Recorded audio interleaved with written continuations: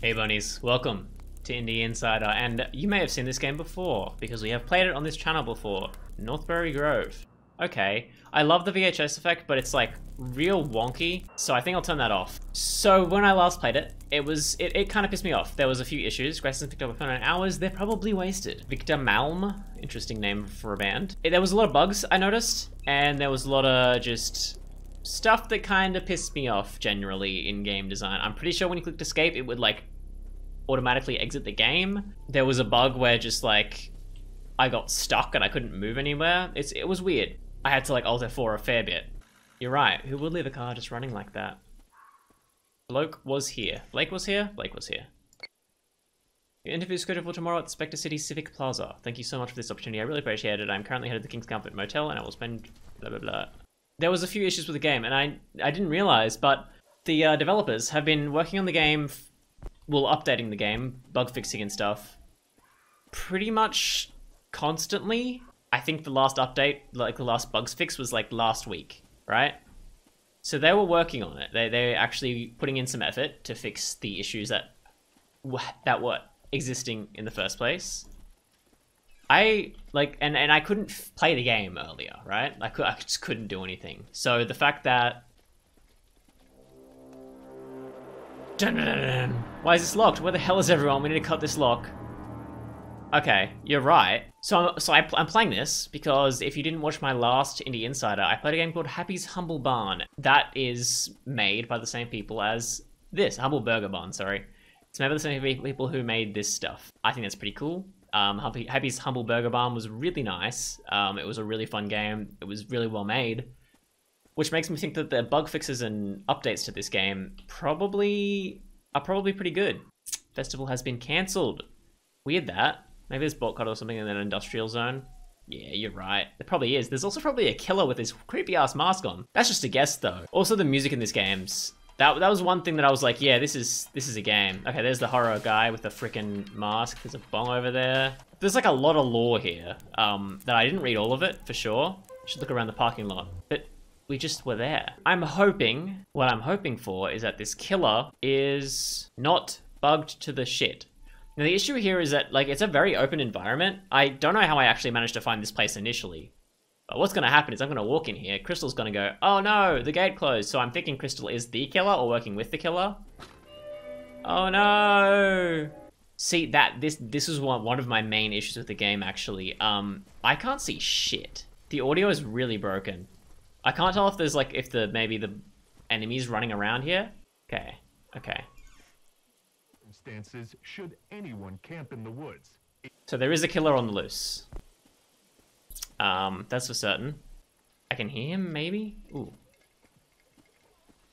Is that lore? I didn't notice the keycard before. It's a woman crying about her baby. Sounds like she lost it. Yikes. See, it's a bit buggy still. But... Oh, God damn it. God damn it. It's hard to see anything. The audio is my main issue at the moment. Uh-oh. Did I attract the killer just then?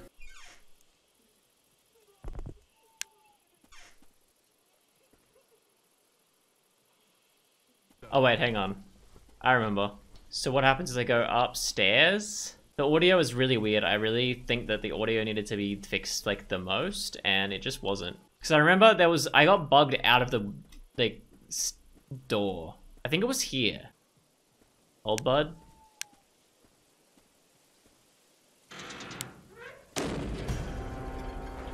Yep. Okay. So I've unlocked the I've unlocked the enemy. Big Boy seems to have some pretty good coding. See, I think it's the environment and the models that I get kind of the most issue with this game, and I think that's the thing. Happy's Humble Barn, he's going upstairs again. Don't know what to do about that. Is he like just chilling up the stairs? What's happening?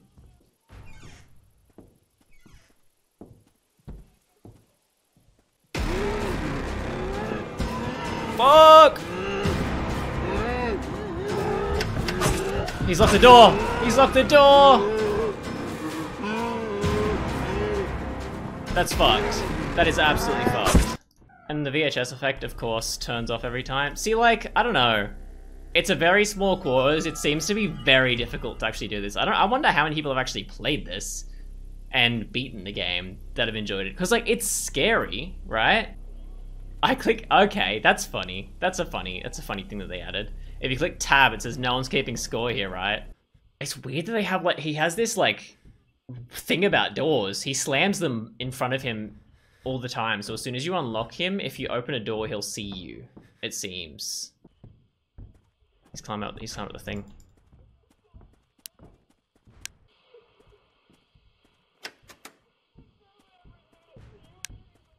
I have no idea if he can see me, but he's so close. I think he's like coming up this staircase.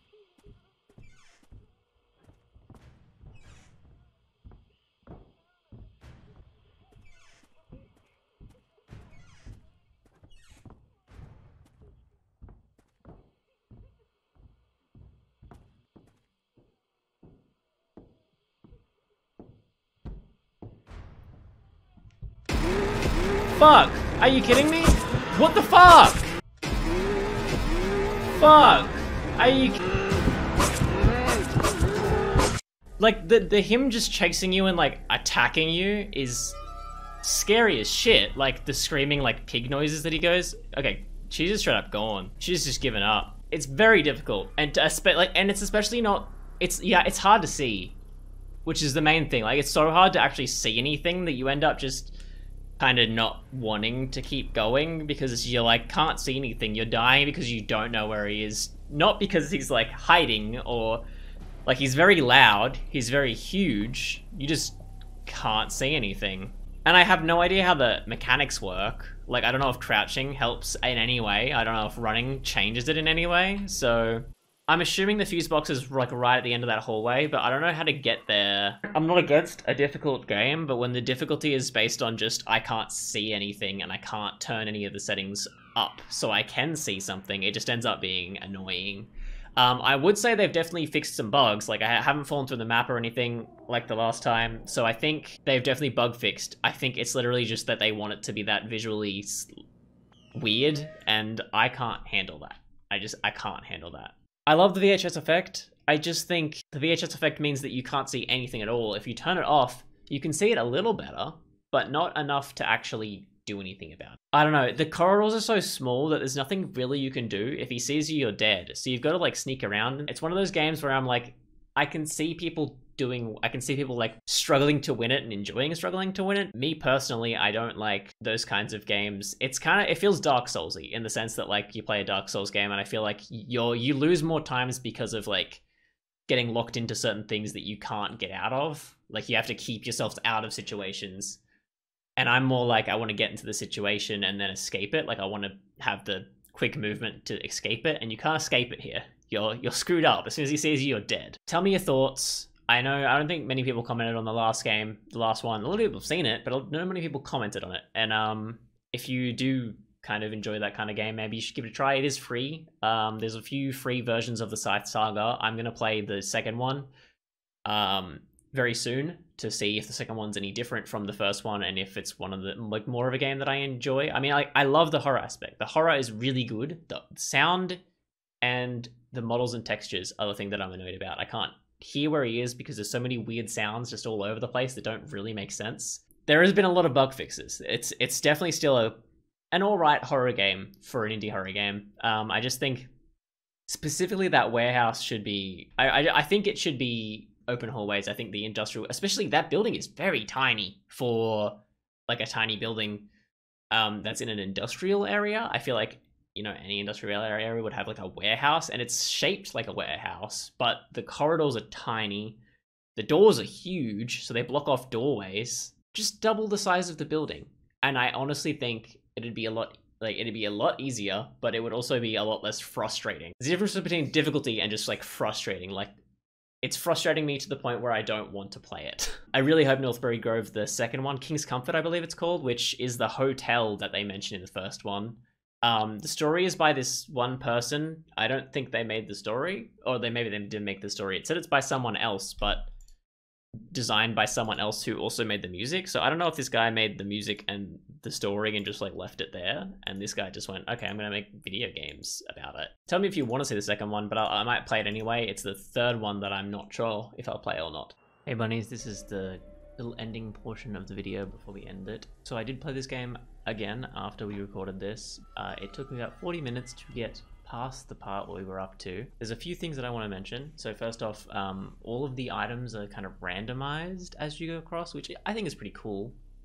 I did notice the the creature does follow a route, but it changes depending on what doors are open. The creature is very door based. It'll follow open doors. It'll slam every door that it goes past. It'll like open and close every door that it goes past as well on its route. So it'll go through there looking through doors. But if it sees one outside of the route, it will come towards that door and then kind of push that into its route as well. So I think that was my issue. I was a bit confused with that. Um, it was very tedious though. Still, I I, th- I thought maybe maybe it's just me, like you know.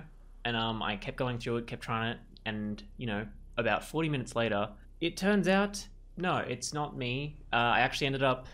I didn't actually look up like a tutorial. I just look, kind of looked up um, just Northbury Grove on YouTube to see what kind of other people thought about it. First one I came across was Jacksepticeye. Um, I don't know to explain who he is, and he pretty much said the exact same things I said. It's a very tedious game.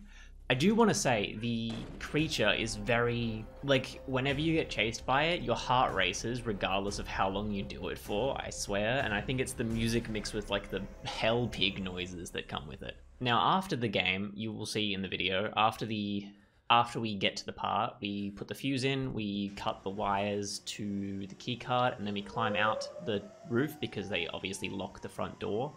Um, now, there was a bug the first time I played it where I, I bugged through the wall and I couldn't get back in, so I had to restart the game, and that was the thing that pissed me off and made me quit the first time. Now, I think they've fixed that bug as far as I can tell. Now, so so now the keycard works and I can get through the top, jump off, run. We find Crystal dead, keys on the ground. So we take the keys and go to the car.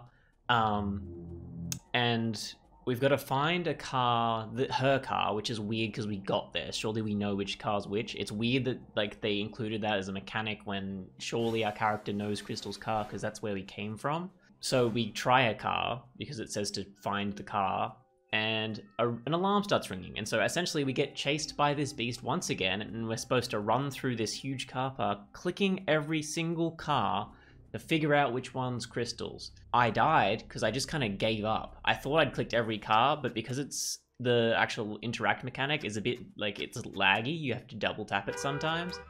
Um, I don't know which car I missed, so I would have to go all the way back and do. There was at least 20 cars, I think. Um, you can count them if you want.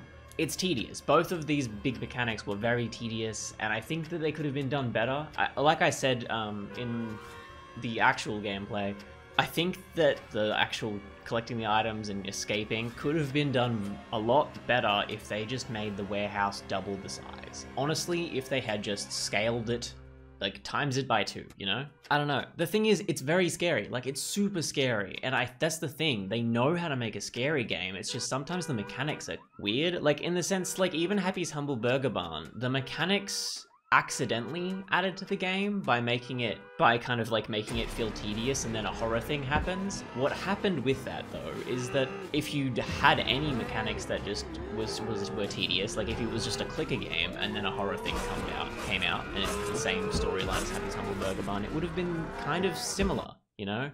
They're good at making horror, they're good at making scares, but the actual game mechanics for both games seem to not be great.